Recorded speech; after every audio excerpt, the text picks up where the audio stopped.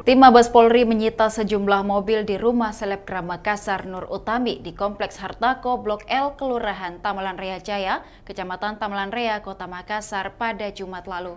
Dari penggeledahan, tim menyita empat mobil mewah Nur Utami, Alphard, dan dua HRV dan Mobilio.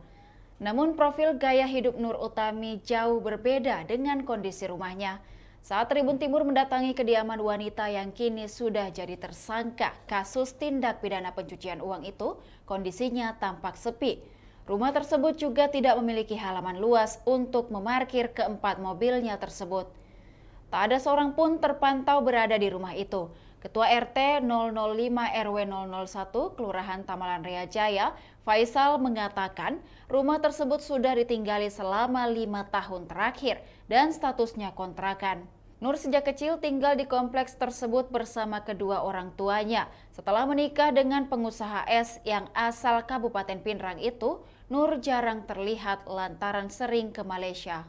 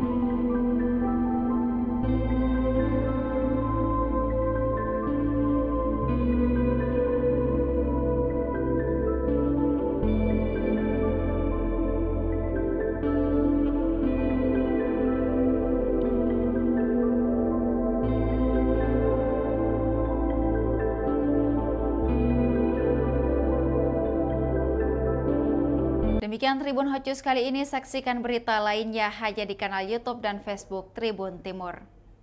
Terima kasih sudah nonton, jangan lupa like, subscribe, dan share ya!